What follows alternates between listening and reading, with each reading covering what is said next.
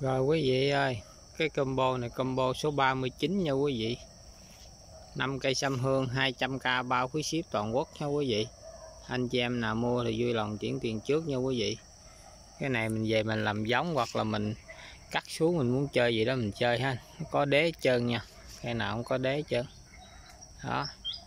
Hoặc không là mình gọt nhỏ nhỏ mình kiếm cái chậu lớn mình trồng 5 cây vô mình làm cụm gừng Chơi cho nó văn nghệ cho nó vui nha quý vị đây, cây số 1 nè. Đây, cây số 2 nè. Đây, cây số 3 nè. Đây, cây số 4 đây, cây số 5 nè. Rồi, vậy ha quý vị ha. Combo số 39 5 cây 200 bao phí ship nha quý vị. Rồi, xuống luôn quý vị ơi.